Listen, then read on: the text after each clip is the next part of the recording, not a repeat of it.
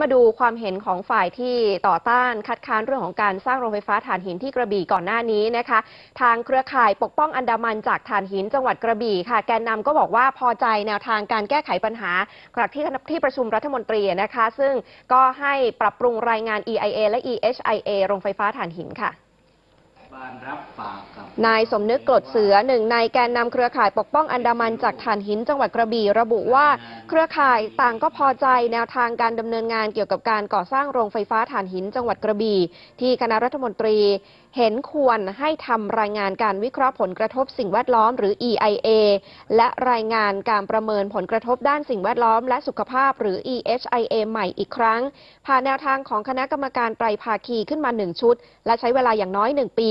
พร้อมขอบคุณรัฐบาลที่ฟังเสียงของประชาชน แม้จะยังไม่ทราบว่าภาคประชาชนจะได้เข้าไปมีส่วนร่วมมากน้อยแค่ไหน ยืนยันว่าจะไม่มีการนำมวลชนออกมาเคลื่อนไหวต่อต้านค่ะส่วนกรณีที่มีการขึ้นป้ายข้อความขอบคุณนายกรัฐมนตรีและกพช ที่ให้สร้างโรงไฟฟ้าถ่านหินกระบี่ตั้งแต่เมื่อวันที่ 17 กุมภาพันธ์ที่ผ่านมานะครับ ที่อยู่บริเวณสามแยกหน้าท่าอากาศยานนานาชาติกระบี่ที่อำเภอเหนือคลอง ล่าสุดได้มีการปลดป้ายนี้ออกไปครับ นี่คือป้ายใหม่แล้วฮะค่ะเป็นป้ายภาพดอกกุหลาบสีแดง แล้วก็มีข้อความบอกว่าคนกระบี่ดีทุกคนมาแทนที่ป้ายเดิมฮะ สวยงามนะคะะส่วนความเคลื่อนไหวที่อำเภอเทพาจังหวัดสงขลา เครือข่ายประชาชนเปอร์มาตาบัสและเครือข่ายภาคประชาชนชายแดนใต้